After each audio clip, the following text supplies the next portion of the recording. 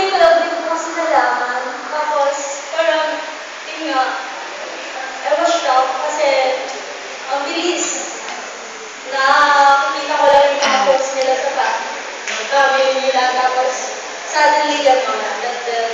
Tapos, na, na, na, ano, nung time na nalaman ko yun, naalala ko yung pinagsabahan namin ng 60 days. Wala ng water. Yung, grabe yung ni tatay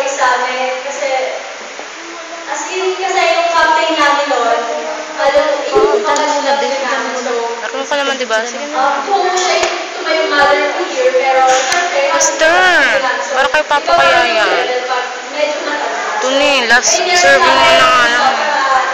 Totally igay yung thing namin. Kaya very thankful kami kay tatay. Kasi um, throughout 60 days, pinagtsagaan niya yung mga kaartihan namin.